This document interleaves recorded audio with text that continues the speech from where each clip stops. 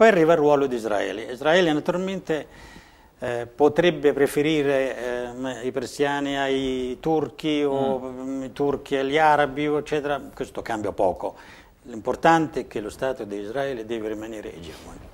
Senti Faisal, però... Scusami, lo sì. Stato di Israele con questo regime ha buoni rapporti.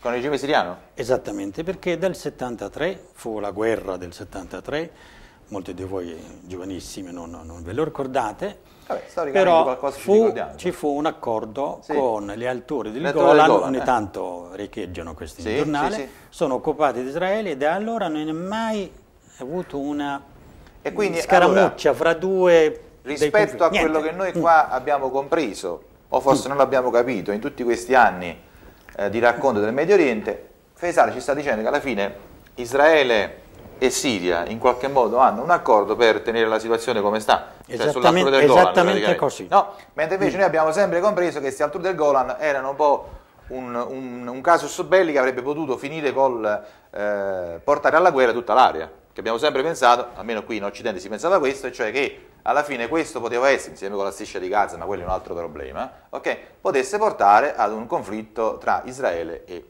la Siria e quindi infiammare tutto il Medio Oriente. Questa è una semplificazione che faccio io insomma, per raccontare anni e anni di eh, cose che noi abbiamo cercato di comprendere e che forse non abbiamo capito niente. Sono equivoci, no? sono equivoci che portano una parte dell'opinione italiana, e lo dico senza né vergogna né paura, la sinistra in Italia mm. vede nel regime siriano il baluardo che difende eh, l'interesse della popolazione siriana contro gli americani, eccetera. Sapete questa mm. storia che eh, naturalmente... Ma tu, Faisal, tu per sinistra che intendi? Intendi la sinistra di Vendola, la sinistra di Bersani, la sinistra ideologica? Che sinistra intendi? Eh, senza scendere molto nel particolare, la sinistra. La sinistra diciamo la sinistra. Io sono venuto già a Napoli, sono sì. stato più aggredito dalla sinistra che da altri, pensando queste cose della sinistra. il regime siriano è l'unico regime che è eh. contro l'americano. Ma scusatemi, eh. dopo quattro minuti dalla uh, morte del padre, questo venne chiamato a diventare il capo, della, il capo supremo dell'esercito. Con l'approvazione americana e ai funerali c'è andata la signora Albright, a suo sì. tempo era ministro dell'Estere, sì. a farle gli auguri per la presidenza e le condoglianze per la morte del padre, che uh -huh. non so qual è uh -huh. che le piace di più la, fra le due cose, ma intanto ci è andata lì a Damasco per farlo. Sì. E questo è stato un riconoscimento degli americani mm. per questo regime. Mm. Perché, ripeto, vi, vi, cito un piccolo dato, negli accordi del 74, perché la guerra eh, fu a ottobre 60, 73, 73 nel 74, aprile 74. 74, l'accordo fra Israele e la Siria, dove in alcune zone del sud e un po' ovest della Siria mm. eh, non dovrebbe mai passare un, non un carro armato o un aereo siriano, ma un soldato vestito con la sua divisa da soldato, mm. Non, mm. un soldato semplice. Ebbene, i carri armati che sono partiti nella, per andare a aggredire quella città, che è stata prima l'inizio della rivolta vera, quella degli studenti della scuola media, sono passati in quella zona e nessuno ha detto niente. Mm non è mai successo niente in tutti i confini con Israele, qualche scaramuccia c'è stato, Libano, l'Egitto persino, eh, naturalmente con la palestinese eh, la Vabbè, cosa là, è chiaro, ma la questione della Siria, mai è stata una scaramuccia anche banale per errore, magari mm. umano da mm. qualcuno, da uno o dall'altra parte. Quindi tu questo sostiene la tesi che tu hai ma non solo, raccontato. Quindi... appena cominciata la rivolta, la dichiarazione ufficiale è questa, ufficiale, mm -hmm. ed è riportata eh, con immagini parole, eccetera, del regime che, attenzione voi israeliani, voi sapete che se si cambia regime qua, la cosa interessa anche voi. Anche voi. Ecco, allora io che non sono nella eh, stanza di bottoni, cosa devo capire? Mm. Sono degli accordi così. Quindi io eh, approfitto, scusami, no, dicendo, attenzione, voi della sinistra che dovete appoggiare per, almeno per definizione, l'interesse mm. della popolazione, sì. difendeteci intanto del regime, poi quando poi vedete che siamo alleati dell'America, eh, a quel punto criticateci, ma la, la Siria non è governata da persone elette dal popolo che sono rappresentanza di una libertà, democrazia e contro qualcuno, sono contro solo i siriani, non sono contro nessuno. È una banda eh, che governa questo paese. questo è chiaro, insomma lo vediamo. Allora, devo rifare un'altra volta una, una, una sottolineatura. Faisal ha tirato in ballo e, e, e, ci fa piacere che lo faccia perché eh, a volte bisogna anche uscire da certi schemi. Eh, ha tirato in ballo quello che è il ruolo della sinistra italiana. Allora, se qualcuno si dovesse sentire nel dovere di venirci a sottolineare qualche cosa, noi siamo qua a disposizione. La tesi di Faisal è abbastanza, come dire, eh, dura se vogliamo, no? Per cui se qualcuno vuole venirci a dire che le cose non stanno così, noi stiamo a disposizione senza nessun problema. La mm, cosa che io sottolineo sempre, i ragazzi della redazione, la struttura lo sa, è che questa è una tribuna aperta, libera. Qui si può parlare tutti di tutto, a patto di non offendere nessuno. E noi mi pare che lo stiamo facendo con tranquillità, con serenità, senza offendere nessuno. Se qualcuno si sente tirato in ballo, ci può, attraverso i tanti canali che il web consente, venirci a dire che le cose non stanno così. Eh, Faisal, sai che devo fare questo perché professionalmente lo devo fare, però questo non ci impedisce di andare avanti e di eh, proseguire nel eh, dibattito. Ehm, una cosa, anzitutto voglio dire ai nostri spettatori che questa è un'occasione anche per comprendere eh, attraverso chi ha dei rapporti diretti con delle realtà, comprendere effettivamente come dire, quello che accade in una parte del mondo che noi invece conosciamo soltanto attraverso dei canali che molto spesso sono indirizzati ideologicamente. Allora noi qua raccontiamo le cose secondo quelle che sono le testimonianze delle persone che ce le vengono a raccontare. Ehm, c'è qualcuno che vuole fare qualche domanda, se no vado avanti io. Prego.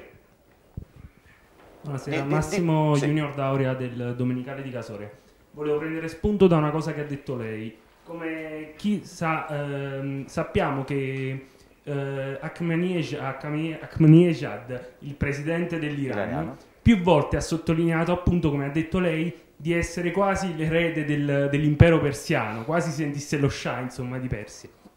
Quanto ritiene possa influenzare questo, come già detto, nella scelta dell'Iran appunto di entrare in campo, ma soprattutto li, qual è il vero intento dell'Iran, nel senso di, influ- diciamo di collegarsi più strettamente con la Siria o magari addirittura instaurare una sorta di protettor- protettor- protettorato e quindi cercare ancora di collegare più rapporti quasi mettendolo in subordinazione eh, il regime siriano.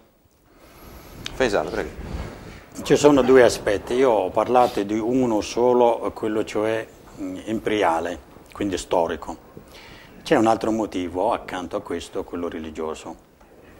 E quindi così l'immagine della questione iraniana potrebbe avvenire molto più chiara.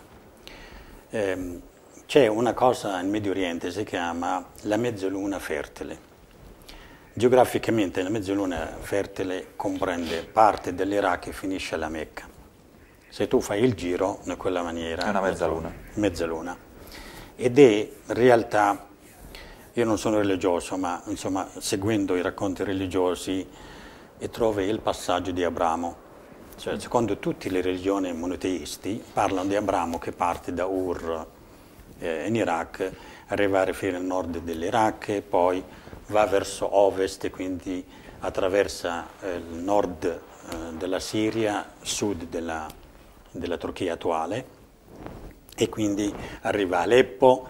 Aleppo è una denominazione venuta fuori per eh, la residenza di Abramo lì e poi Gerusalemme, Gerusalemme al Cairo e dal Cairo alla Mecca. Quindi se segui questa cosa eh, vedi che effettivamente è una mezzaluna. una mezzaluna. Perché le chiamano fertili? Perché nel passato non era una zona desertica come oggi, c'erano acque e c'era soprattutto savane, e boschi, eccetera. Tant'è che dalla città di Latakia, che si affaccia al Medio Trento, una città siriana, fino a Baghdad c'era una strada, quella fondamentale, diciamo l'autostrada Roma-Napoli-Milano. L'autostrada le chiamavano la strada dove tu non vedi mai il sole, perché mm. tanto erano i boschi, Forte la vegetazione, la vegetazione che è così. E oggi trovi delle città costruite per noi nel deserto, ma allora evidentemente non erano così. Questo aspetto religioso, loro dal racconto religioso uscita, io insomma dico quello che leggo, non, non è mia invenzione, dai libri che non sono recentissimi, è che il sciismo dovrebbe arrivare alla Mecca, mm. e distruggere la Mecca e arrivare alla città santa che si trova in Iraq. Quindi questo, questo progetto della mezzaluna ne parlano moltissimo.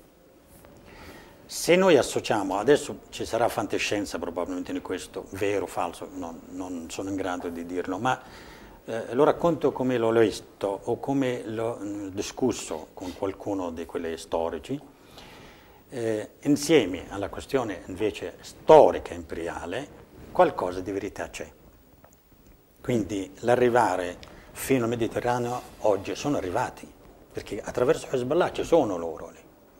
Hezbollah mm. è una fazione... È, spieghiamo che cosa Hezbollah. Libano, sì, assolutamente finanziata e retta tutta dalla questione iraniana, non, ci, ci, sono istruttori, ci sono persone, Quindi, non solo... Comprendete che queste dinamiche di solito noi non le apprendiamo dalle, dai canali di informazione diciamo, tradizionali, quindi queste dinamiche interne che magari noi conosciamo per l'Europa, perché noi sappiamo la storia dell'Europa, no? sappiamo quali sono state le influenze di Napoleone rispetto a quello che può essere l'approccio de, de, degli spagnoli oppure della regina Elisabetta d'Inghilterra e compagnia cantante, no? della regina Vittoria, eccetera. Sappiamo le dinamiche dell'Occidente, non sappiamo le dinamiche uguali no? che esistono in altri eh, punti del mondo, quindi Faisal ci sta raccontando di queste dinamiche in quella zona, quindi noi apprendiamo delle cose che di solito non conosciamo se non ce le andiamo a studiare all'università o se non ce le andiamo a studiare da qualche parte, insomma no? Mm. Prego, scusami sì. Faisal, scusami per l'interruzione. No, ma questo spiegherebbe perché questo interessamento dell'Iran così accanito. Allora, mm. in questa occasione io vorrei dirti che la mia preoccupazione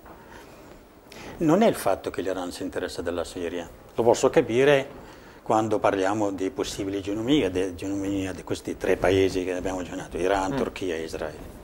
Fin qua si può accettare, almeno in teoria, che giustamente ci sono dei paesi che cercano di allargarsi, eccetera, finché si può fare pacificamente, probabilmente possiamo dire che ben venga, ma la situazione non è così perché porta con sé dei problemi nuovi che hanno radice antica, quindi guerre all'infinito. Mm. Ma quello che mi preoccupa per l'oggi è l'arrivare a un compromesso di questo genere. Voi, questo compromesso si fa con l'occidentale, voi lasciatemi, cioè noi lasciamo l'atomica e voi ci lasciate la Siria. Mm. Mm. Guardate che questa cosa esiste. Mm. È sul tavolo dei, di quelli che discutono. Di chi tratta, al di là di quello che è l'immagine che noi, che noi non vediamo, che noi non sappiamo. sono quei poteri che di questa cosa si parla. Noi lasciamo la questione atomica, quindi mh, mm, poi ci fa piacere probabilmente Ma questo sarebbe un... Però lasciateci la Siria, eh. che ci affacciamo al Mediterraneo, a quel punto non c'è più necessità di avere atomiche per diventare grandi. In fondo io ho l'Iran, l'Iraq e la Siria però, e il Libano. Senti, Faisal, faccio così. un ragionamento occidentale, questo però è un po' un calarsi le braghe di fronte ad Ahmadinejad, diciamo, no? Beh, mi devi spiegare che cosa vuol dire la posizione oggi. Io vorrei immaginare un paese arabo qualsiasi che si impegnasse a fare una bomba atomica, quale sarebbe l'atteggiamento di, del mondo intorno? Degli, degli occidentali o comunque del mondo intorno. Io faccio questa domanda, non la posso immaginare, la lasciamo, non do risposta. La lasciamo perché non ce l'ho. Però nell'immaginario, vedete l'Egitto, un paese grande, storico, eccetera, lo lasciano fare la bomba? Mm. Non lo lasciano.